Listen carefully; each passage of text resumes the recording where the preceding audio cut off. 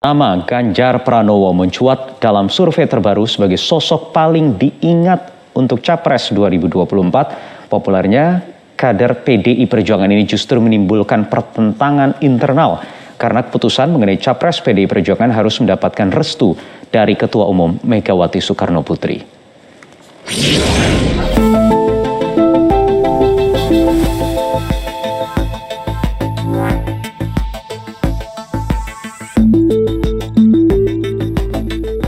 Ganjar Pranowo seakan terus menerima restu untuk maju dalam kontestasi Pilpres 2024. Dalam survei teranyar Poltreking, nama Gubernur Jawa Tengah itu menjadi sosok yang paling diingat oleh responden sebagai kandidat capres.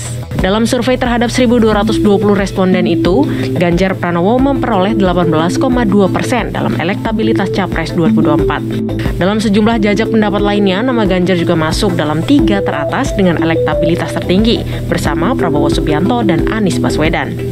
Kalau PDIP akhirnya mengusung Ganjar Pranowo sebagai calon presidennya, maka akan terbentuk relasi politik simbiosis politik mutualisme. Saling menguntungkan suara-suaranya terkristalisasi. Pendukung PDIP yang belum tentu mendukung Ganjar akan memilih Ganjar karena pemilih militan ceruk utama PD Perjuangan. Pun sebaliknya ada basis yang sangat militan pada Ganjar itu akan berpotensi memilih PD Perjuangan akan berpotensi menaikkan suara uh, eh, PDIP artinya PDIP akan mendapatkan uh, berkah elektoral berupa kotel efek yang semakin efektif kotel efek akan bekerja secara uh, efektif.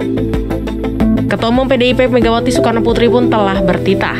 Bagi kader yang dianggap menyalahi ADART partai, maka tidak segan akan dipecat atau justru dipersilahkan untuk undur diri. Tim Liputan Metro TV.